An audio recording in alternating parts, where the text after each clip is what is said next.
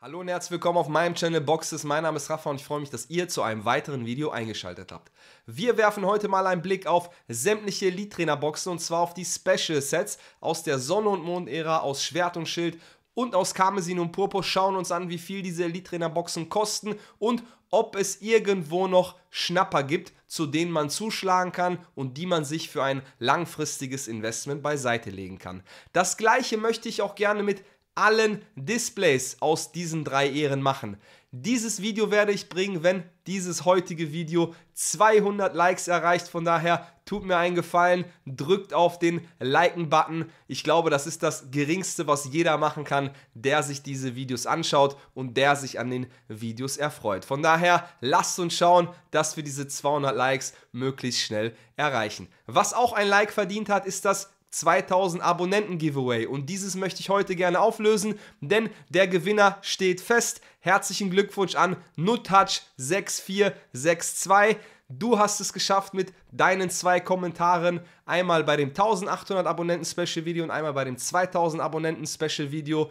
Diese Karten für dich hier zu gewinnen und zwar bekommst du alle 18 Atrias aus dem so schönen Set Pokémon 151 auf Japanisch. Ich hoffe, du freust dich und hast insbesondere, wie gesagt, auch viel Freude an den Karten, die du dann jetzt zugesendet bekommst. Für alle anderen gilt, ganz, ganz großes Dankeschön, dass ihr so fleißig geliked, so fleißig kommentiert habt. Das wird nicht das letzte Giveaway auf diesem Channel sein. Es werden noch viele weitere folgen. Von daher bleibt dabei und nutzt die Chancen, die sich euch zukünftig dann hier auch bieten. Lasst uns direkt einsteigen und in die Elite-Trainer-Boxen aus den drei Ehren gehen. Starten wir mal mit der Elite-Trainer-Box von Shining Legends bzw. Schimmernde Legenden. Dieses Set stammt aus 2017. Das heißt, mittlerweile ist dieses Set sechs Jahre alt und hat, wie gesagt, ein paar Jahre auch schon auf dem Buckel. Das sehen wir an den verfügbaren Artikeln. 82 Stück hier auf Cardmarket noch vorhanden und an den Preisen dieser Box. Wenn ihr euch diese Box auf Deutsch kaufen wollt, dann kostet sie ca. 300 Euro. Wenn ihr diese Box auf Englisch haben möchtet, aus dem europäischen Ausland eingekauft, dann sind wir hier bei ca. 335 bis 340 Euro. Also ein richtig stolzer Preis für eine Elite-Trainer-Box. Schimmernde Legenden, muss ich sagen, gefällt mir persönlich sehr, sehr gut. Wenn wir uns die Karten anschauen, dann sehen wir, dass wir diverse, sehr, sehr populäre Pokémon mit dabei haben. Wir haben gar nicht die allzu teuren Karten mit dabei, aber dafür eine sehr schöne Auswahl, wie gesagt, an populären Pokémon. Mewtwo GX zum Beispiel ähm, das eine richtig tolle optische Karte, finde ich. Wir haben Mewtwo als Rainbow-Karte. Auch diese Rainbow-Karten verbinden wir ja sehr stark auch mit der Sonne- und Mond-Ära, aber auch noch mit der Schwert- und Schild-Ära, obwohl die sich von dem Feeling, von der Optik dann doch schon stark unterscheiden. Wir haben hier Raichu mit dabei, wir haben Entei mit dabei und was wir nicht vergessen dürfen, wir haben halt sehr, sehr viele Shiny-Pokémon mit dabei. Mit Mew, mit Rayquaza, mit Arceus mit Genesect, mit Jirachi und so weiter und so fort. Von daher, meiner Meinung nach, ein tolles Set mit einer tollen Auswahl, ein nicht allzu großes Set, ähm, welches sich aber in den vergangenen Jahren trotzdem sehr, sehr gut im Preis entwickelt hat. Wie gesagt, 300 bis 340 Euro ist der aktuelle Preis, entweder Deutsch oder Englisch. Für ein Investment würde ich diese Box aktuell nicht einkaufen. Da werden wir gleich noch bessere Alternativen sehen, wer natürlich Elite-Trainer-Boxen sammelt. Es kann ja auch eine Idee sein, Special Sets zu sammeln. Ja, dann braucht man ja auch nicht jede einzelne Elite-Trainer-Box haben, sondern hat nur eine kleine Auswahl der Top-Produkte bei Elite-Trainer-Boxen, die dann so auf den Markt kommen. Auch das könnte eine Idee sein. Und wer sich so eine Sammlung aufbauen kann, der kann natürlich zu diesem Preis zuschlagen, denn eins ist auch sicher, günstiger wird das Produkt nicht mehr, ähm, sondern eher teurer. Hier erwarte ich allerdings keine schnellen Preisanstiege, weshalb ich bei diesem Produkt von Shining Legends auf Deutsch und auf Englisch für ein Investment eher raus bin. Das zweite Special Set, welches in der Sonne- und Mond-Ära auf den Markt gekommen ist, ist das von Dragon Majesty, also Majestät der Drachen. Auch diese Box ist mittlerweile sehr, sehr rar. Wir haben gerade mal 33 Artikel auf Card Market vorhanden und auch einen hohen Preis. 320 Euro müssen wir bezahlen, wenn wir sie auf Deutsch haben wollen. 399 Euro, also 400 Euro, wenn wir sie aus dem europäischen Ausland einkaufen wollen, auf Englisch. Ein richtig stolzer Preis, der zeigt, was halt auch so mit Elite-Trainer-Boxen, insbesondere mit den Sondersets, möglich ist. Ich würde die Sonne- und Mond-Ära, was die Elite-Trainer-Boxen angeht, nicht mit der Schwert- und Schild und das recht nicht mit der Karmesin- und Purpur-Ära vergleichen, weil wir, wie gesagt, in der Sonne- und Mond-Ära ähm, nicht so hohe Print-Runs hatten, was die Elite-Trainer-Boxen angeht. Aktuell ist es ja so, dass gefühlt die Elite-Trainer-Boxen ja das Produkt sind, welche immer wieder auf den Markt kommen ähm, und immer wieder von der Company geprintet und auf den Markt gebracht werden. Von daher gibt es da schon große Unterschiede, auf die wir aber noch im Laufe des Videos eingehen werden. Wenn wir uns die Karten anschauen, dann sehen wir, dass wir hier wirklich keine allzu besonderen Karten dabei haben. Sowohl was die Artworks angeht, als auch was die populären Pokémon angeht. Denn so richtig was außer Dragoran haben wir hier nicht mit drin. Also von daher sehr viele günstige Karten, auch tatsächlich keine Top-Chase-Karten mit dabei, was dann aber trotzdem nicht dazu führt, dass wir einen geringen Preis in der Elite-Trainer-Box haben. Und das sage ich immer und immer wieder auf diesem Channel. Karten können ein sehr guter Treiber für ein Produkt sein. Karten sind aber nicht ausschlaggebend, wie teuer das Sealed Product irgendwann wird. Denn ähm, es kommt immer auch auf das Angebot an. Wenn wir ein geringes Angebot haben, wenn es nicht allzu viele Menschen gibt, die sich dieses Produkt weglegen, dann führt das irgendwann mal zu einer Seltenheit, die interessant macht. Und dieses interessant machen kostet am Ende Geld. Und das sehen wir hier bei Dragon Majesty. Eine Box, die wirklich keine allzu guten Karten drin hat, kostet trotzdem 400 Euro. Und schaut's hier, ja, wird trotzdem zu diesem Preis auch verkauft. Von daher sehr, sehr spannend. Auch hier Ähnlicher Gedanke wie bei Shining Legends. Ich persönlich würde sie mir für ein Investment nicht kaufen. Wenn es aber darum geht, vielleicht eine Sammlung zu komplettieren, dann könnten die aktuellen Preise durchaus interessant sein, denn auch hier günstiger wird das Produkt nicht. Kommen wir nun zu Hidden Fates, einem der geilsten Special Sets der letzten Jahre. Das muss man einfach so sagen. Hidden Fates ist 2019 auf den Markt gekommen, also vier Jahre alt und aktuell noch in guter Stückzahl vorhanden. Also 320 Artikel gibt es von dieser Trainerbox hier auf Card Market. Auf Deutsch zahlt man aktuell einen Preis von 116 Euro. Auf Englisch, da müssen wir ein bisschen runterscrollen, zahlt man aktuell einen Preis von 140 Euro. Und hier dreht sich das Ganze bei mir, denn Kurioserweise ist Hidden Fates meiner Meinung nach das mit Abstand beste Set von den dreien, die wir jetzt hier in diesem Video gehört haben. Trotzdem ist es das günstigste Set, also das, die günstigste Elite-Trainer-Box im Vergleich zu den anderen zweien. Das hat nicht den Grund, weil das Set einfach unpopulär ist. Das hat den Grund, weil einfach viel, viel mehr Mengen davon auf den Markt kamen. Hidden Fates war so das erste Special Set, welches wirklich auch noch ein äh, paar Monate und ein paar Jahre nach Release noch weitere Printruns bekommen hat. Ich kann mich selber noch daran erinnern, wie ich auch bei deutschen Produkten, ja, obwohl das Produkt schon sehr, sehr teuer war, in der Bestellung dann für 60 Euro wieder zugreifen konnte. Und ähm, das führt dazu, dass es einfach jetzt ein bisschen länger dauert, bis sich dieses Produkt im Preis auch wieder erholt. Denn das Produkt war schon deutlich teurer. Und eins kann ich euch sagen, es wird auch wieder teuer werden. Ich glaube fest daran, dass Qualität sich am Ende durchsetzt und dass die Hidden Fates ETB irgendwann mal, ich weiß nicht, wann dieses irgendwann mal sein wird, aber ich glaube fest daran, dass diese ETB genauso teuer, wenn nicht sogar noch teurer als Shining Legends und Dragon Majesty wird, weil sich meiner Meinung nach am Ende auch Qualität durchsetzt. Hidden Fates ist ein sehr populäres Produkt, es wird oftmals auch geöffnet.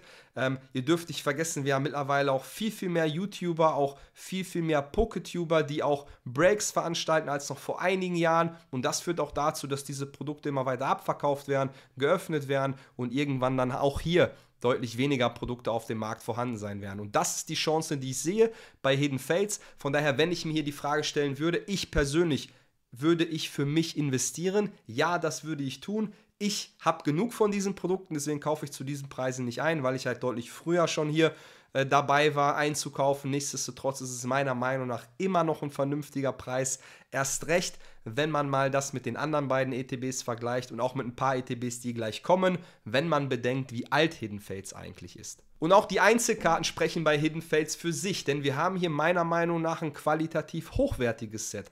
Klar sind es jetzt nicht die Artworks wie bei Schwert und Schild, da sind wir aktuell anderes gewohnt, auch bei Karmesin und Purpur. Trotzdem sind es nostalgische Karten mit sehr, sehr vielen populären Pokémon wie Shiny Glurak, wie Shiny Nachtara, Shiny Psyana, Shiny Mewtwo, weiteren Evolutions und vielen Karten mehr. Von daher geiles Set zu einem meiner Meinung nach noch guten Preis, sowohl auf Deutsch als auch auf Englisch. Persönlich würde ich die englischen Produkte bevorzugen. Warum? Ist, glaube ich, auch klar, haben wir auf dem Channel schon oftmals beschrieben.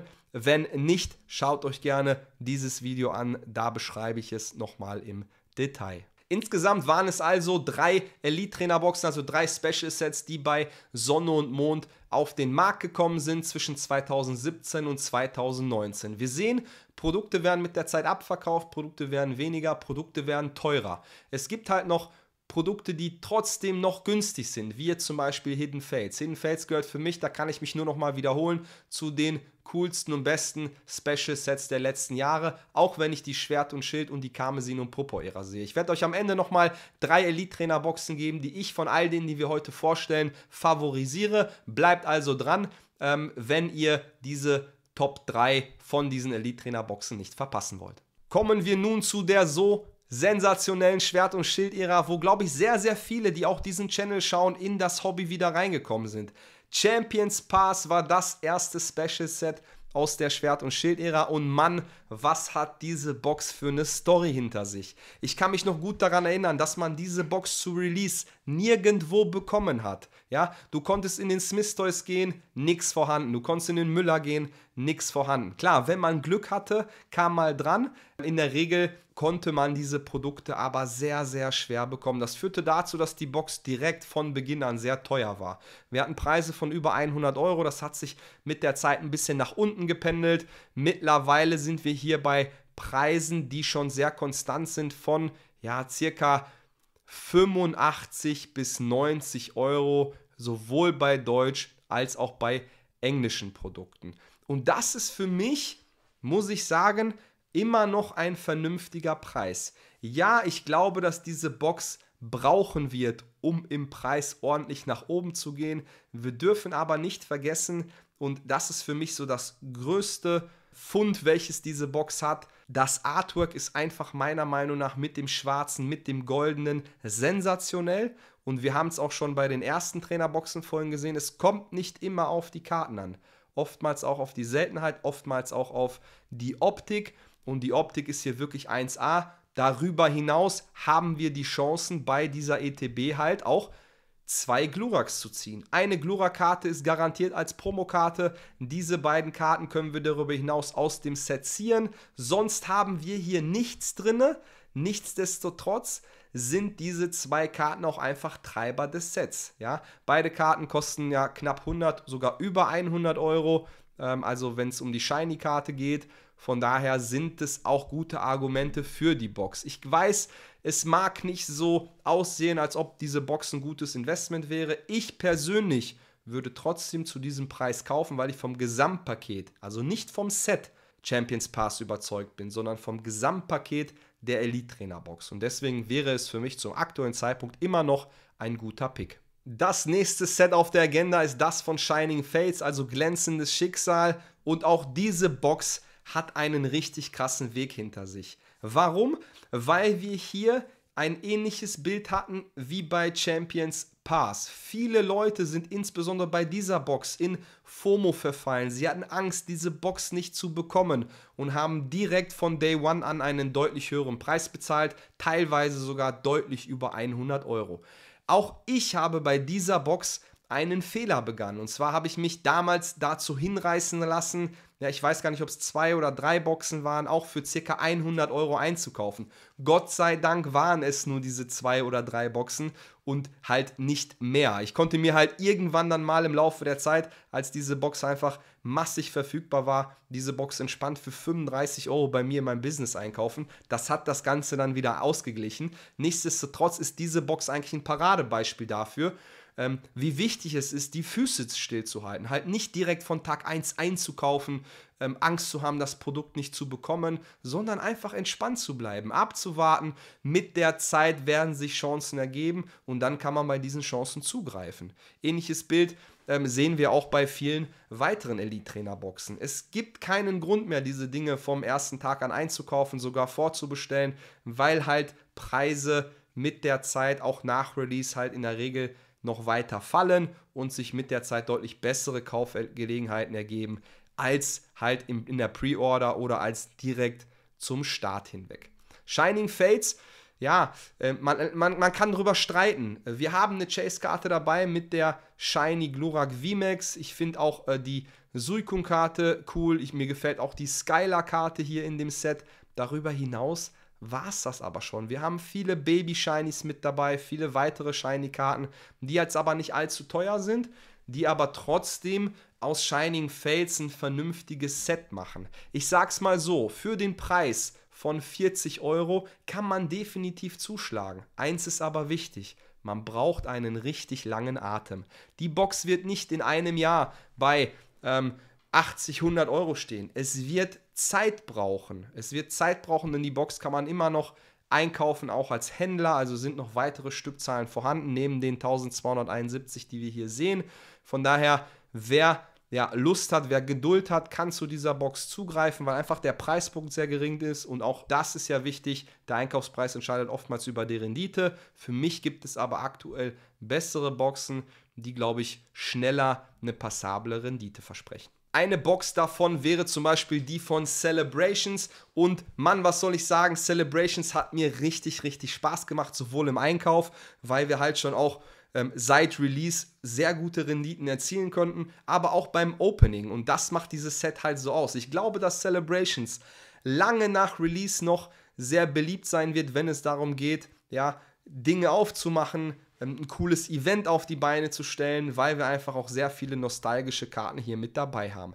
Der Preis für die Elite Trainer Box ist tatsächlich auch in den letzten Wochen und Monaten so ein bisschen gefallen, also hält sich auch so konstant auf einem Niveau von 80 bis 100 Euro. Wir haben hier aber mittlerweile, wie gesagt, auch wieder Preise so von um die 90 Euro, sowohl auf Deutsch als auch auf Englisch. Von daher das für mich definitiv vernünftige Preise, wenn man sich diese Box beiseite legen möchte.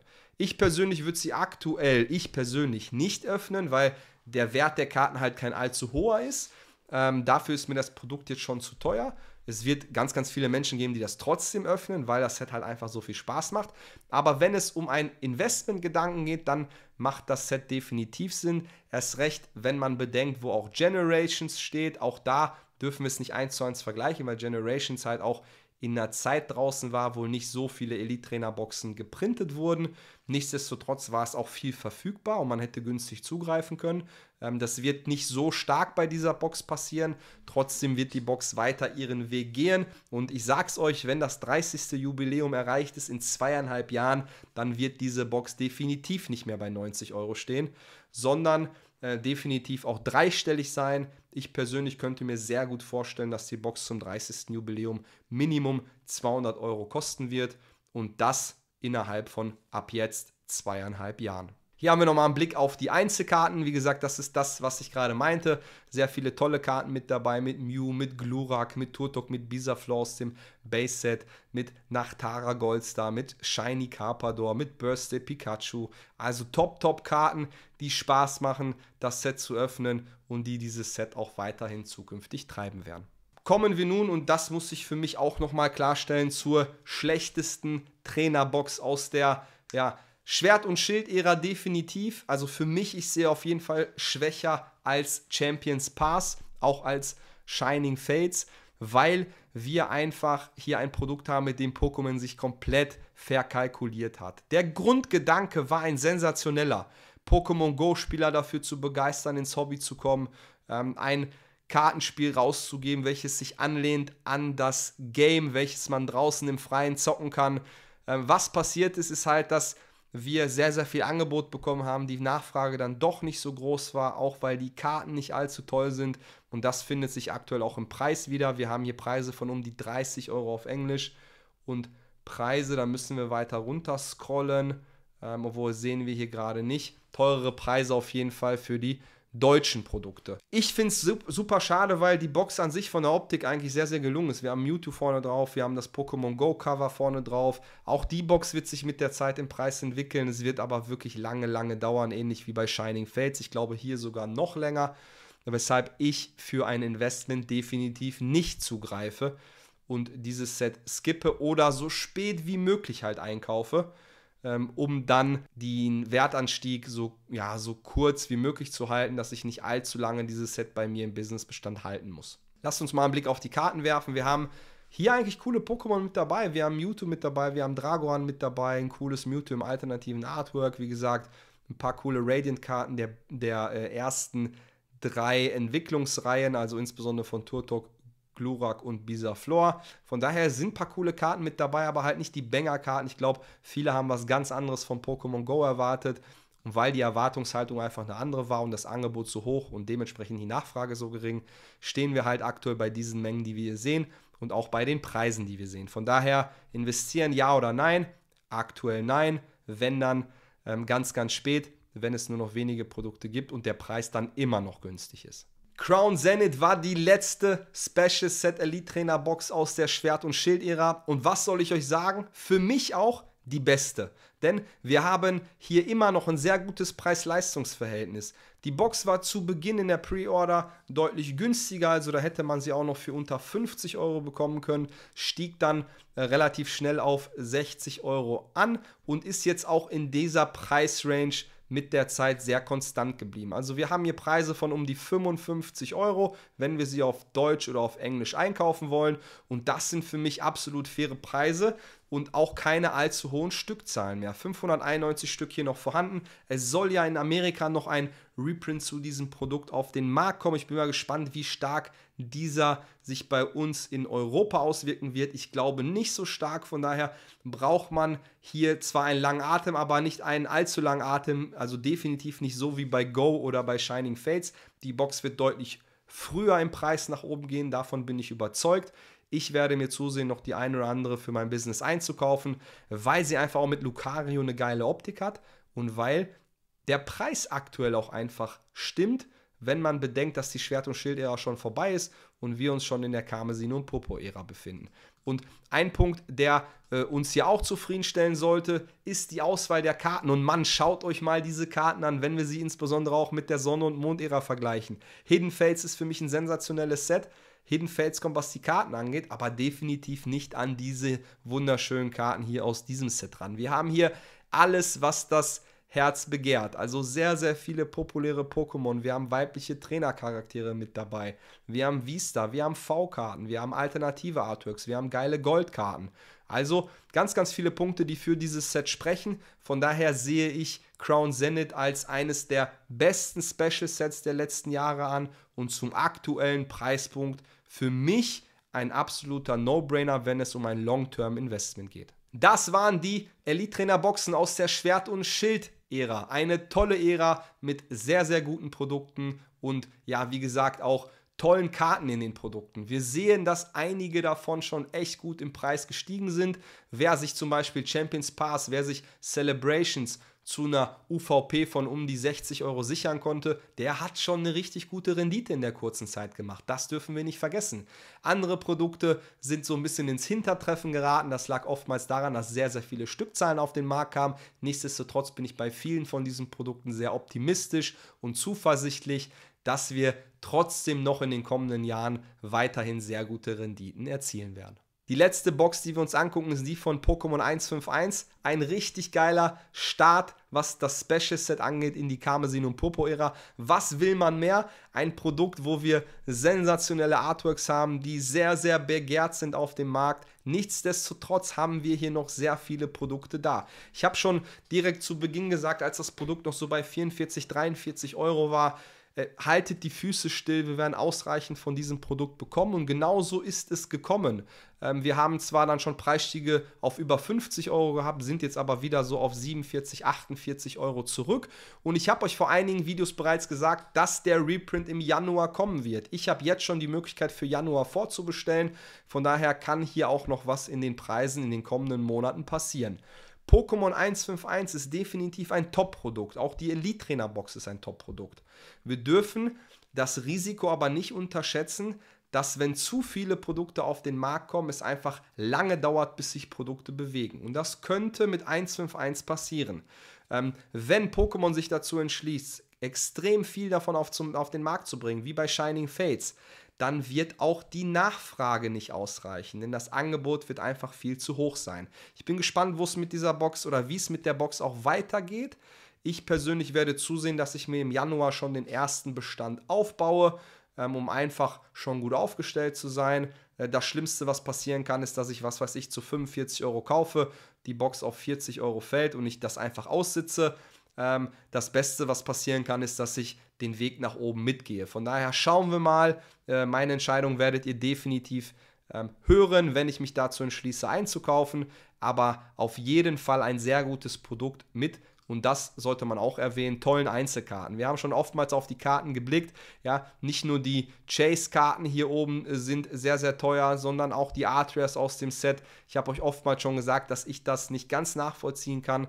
Auch hier war wahrscheinlich neben den ja, nicht so guten Pullraten, aber auch ganz viel FOMO mit dabei. Ich persönlich würde auf japanische Karten gehen. Dort kriegen wir, obwohl das Set deutlich seltener und teurer ist, noch die deutlich günstigeren Karten. Nichtsdestotrotz ein tolles Set, auch optisch und auch die äh, Elite Trainer Box ist meiner Meinung nach von der Optik sehr, sehr gut gelungen, auch mit dem Relaxo drauf und mit dem Relaxo als Promokarte drin. Von daher, wenn ihr mich fragt, eignet sich Pokémon 151 für ein Investment? Ich persönlich für mich sage ja.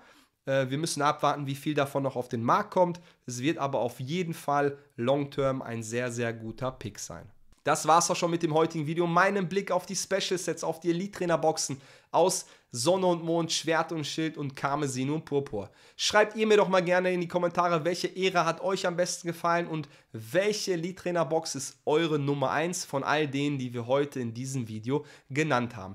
Ich möchte euch noch einmal meine Top 3 mit an die Hand geben. Wenn ich mich dazu entschließen müsste, jetzt zu kaufen, würde ich folgende ETBs auswählen. Auf Platz 3 würde ich mich für Celebrations entscheiden, weil es immer noch für mich ein gutes Preis-Leistungs-Verhältnis liefert und insbesondere mit dem 30. Jubiläum noch ganz, ganz viel Fantasie mit sich bringt. Auf Platz 2 würde ich Crown Zenith wählen, weil wir einfach ein geiles Preis-Leistungs-Verhältnis haben, eine günstige Box bekommen können, die richtig, richtig gut ist und viel Potenzial hat. Und auf Platz 1 würde ich mich für Hidden Fates entscheiden, weil diese Box einfach mit Abstand schon die älteste von diesen Boxen ist. Irgendwann wird der Zeitpunkt kommen, wo sie einfach abverkauft ist, dann werden die Preise teuer wie bei Shining Legends und wie bei Dragon Majesty. Und deswegen finde ich, ist es aktuell noch ein guter Zeitpunkt, in diese Box reinzugehen. Von daher schreibt mir gerne mal in die Kommentare, was ihr auch zu meiner Top 3 sagt. Und wenn euch das Video gefallen hat, lasst doch gerne ein Like da. Schaffen wir die 200 Likes, dann kommt das gleiche Video auch zu allen Displays aus allen drei Ehren. Und eins sage ich euch, das könnte richtig spannend und richtig geil werden. Von daher, danke für eure Aufmerksamkeit. Abo dalassen, liken, kommentieren. Bis bald. Ciao, ciao.